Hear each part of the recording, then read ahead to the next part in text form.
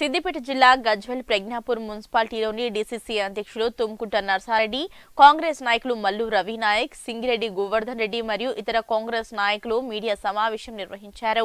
ఈ సందర్భంగా వారు మాట్లాడుతూ ఈ నెల పదిహేడున గజ్వెల్ పట్టణంలో నాలుగవ దళిత గిరిజన ఆత్మ గౌరవ దండోరా సభను చేయడానికి పీసీసీ అధ్యక్షుడు రేవంత్ రెడ్డి నిర్ణయం తీసుకున్నారని తెలిపారు. గజ్వెల్ పట్టణంలో ఈ నెల పదిహేడవ తారీఖున శుక్రవారం రోజున వివిధ నియోజకవర్గాల నుంచి గిరిజనులు అధిక సంఖ్యలో హాజరు కావాలి కావాలని వాళ్ళు పిలుపునిచ్చారు. పదిహేడో తారీఖున గజ్వేల్లో దళిత గిరిజన ఆత్మగౌరవ దండోర సభ క్లోజింగ్ డేట్. అంటే ఈ ప్రోగ్రాం అంతా ఆగస్ట్ నైన్త్ క్విట్ ఇండియా ఎప్పుడైతే ప్రోగ్రామ్ స్టార్ట్ అయిందో నైన్త్ ఆగస్టు స్టార్ట్ అయింది. సెవెంటీన్త్ మన తెలంగాణకి స్వతంత్రం వచ్చింది. సెప్టెంబర్ సెవెంత్ దీన్ని విమోచన దినమా లేకపోతే విలీన దినమా?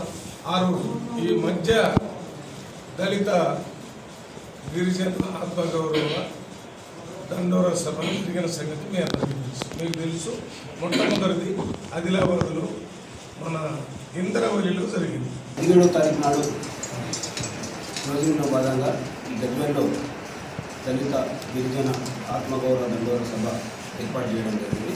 హుజరాబాద్ ఎన్నికలనే కాబట్టి దాదాపు రెండు వేల కోట్లు అక్కడ దళితులకు ఇచ్చి ఓట్లు వేయించుకోవాలని మా డిమాండ్ కూడా ఏంటంటే కాంగ్రెస్ పార్టీ ఉన్నప్పుడే ఇందిరాగాంధీ గారు ఉన్నప్పుడే ఇందిరమ్మ పేరు మీద ఇల్లు ఇచ్చాం.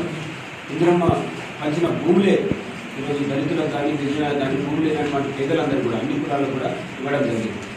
లక్షల ఎకరాల భూములు పంచడం జరిగింది.